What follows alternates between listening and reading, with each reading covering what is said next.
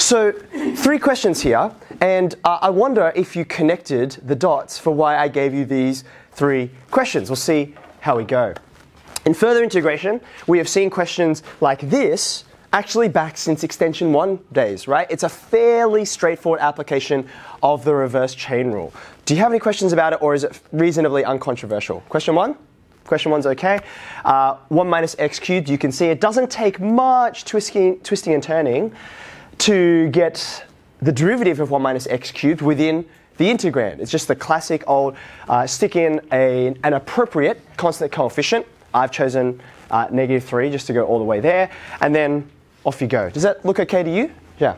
Oh, is there to put a negative 1 into the 1 minus x cubed to turn it into x cubed minus 1? Could we put in a negative 1 into the 1 minus x cubed to turn it into x cubed minus 1? That was the question. Before I answer it, does anyone have any opinions on that? Factoring out or putting in a negative 1 in order to turn into x cubed minus 1. Thoughts? Yeah, so I, wait, I, maybe I should ask a question. Do you mean before or after integration, Xiao? Uh, after. After. So you're talking about like after I'm done here at the bottom. Yeah, sure. Yeah, yeah. So uh, the short answer is, as Angad points out, in this case, doesn't really matter. Totally fine. I should point out, because it's a, a classic error to be made, in this case, we sort of get lucky. You are actually not taking out a factor of negative 1. You are actually taking out five factors of negative 1, which happens to also be negative 1, right? Uh, because you can see here, right?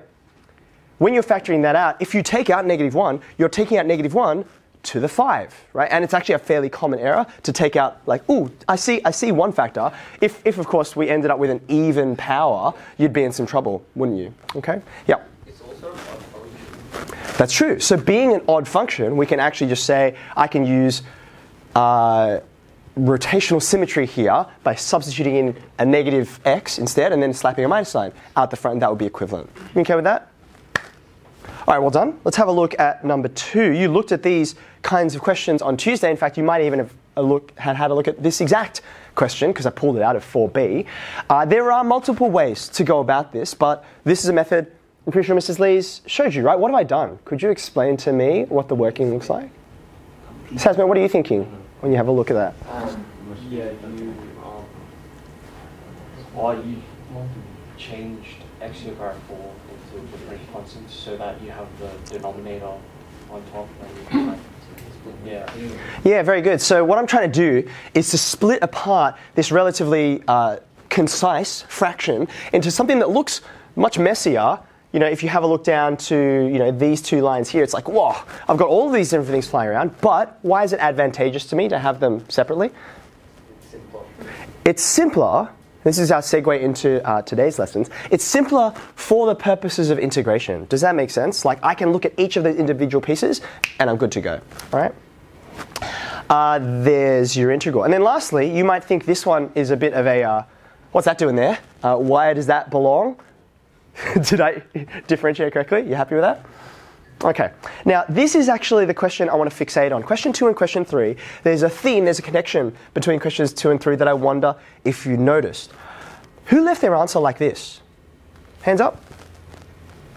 Put your hands up a bit higher. I want to see, because, and I also want to see, make sure you can see the rest of the class.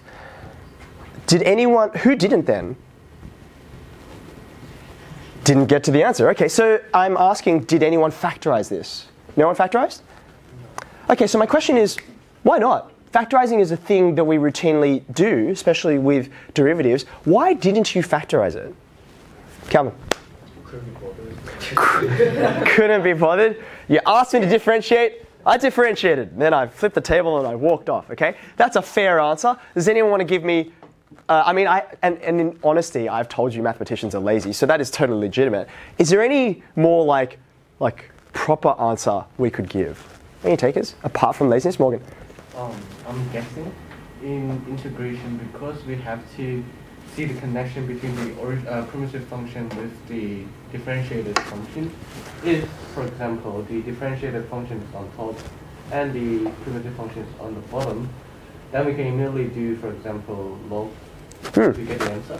Yep. And we can see the uh, differentiated function more clearly as well. Hmm, okay, very good. So and you're noticing, Morgan, the theme that I sort of tried to connect between questions two and three, right? What I was trying to say was sometimes you can look at the same object, but depending on the form that you've got it in, it makes it easier or harder to do certain things. Do you agree? Um, in this case, you know, the topic we're looking at, it's integration. Uh, in a question like this, not a rhetorical question, uh, sometimes this expanded form is the one you want. And other times, the factorized form is the one you want. Can someone give me an example where, even though you're like, I'm lazy, I don't want to do this, but under certain circumstances, you say actually factorizing is pretty much the only way to go. Zhao, what would you say? Uh, when you're trying to find like t- uh, points of inflection or turning point or anything, Okay. equating ddx e- equals zero. Okay, so two things. Number one, yes, if I want to locate stationary points, then it is much easier to read off the location of those, the x values anyway, if it's factorized. Okay. My second point is, and I'm only going to pick this up on, for you guys because, especially like now, because you're in Extension 2 class. Um, ddx, what is ddx? d on dx? Maybe you haven't been actually introduced to this language. It's what we call a differential operator. It does things like times, plus, minus, divides. It's an operation, right? d on dx is not an object. It's not a thing that you can act upon. It's an action, right?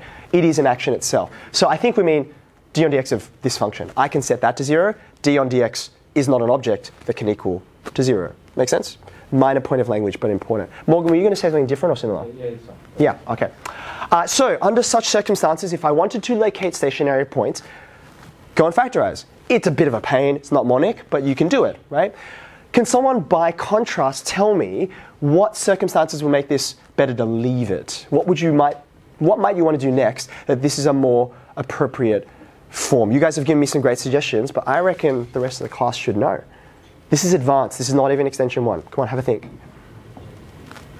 Second derivative. Yes, second derivative. Second derivative. Explain a little more, Angad. What do you mean?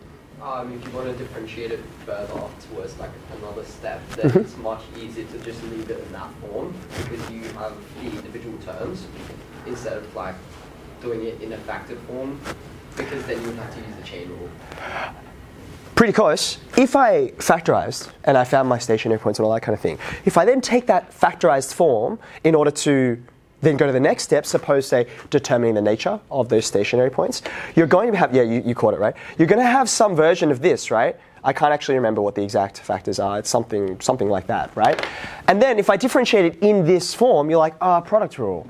I mean, we're pretty good at the product rule, but why not just use this form, which doesn't require any product rule, chain rule, quotient rule? You just go term by term. Does this make sense?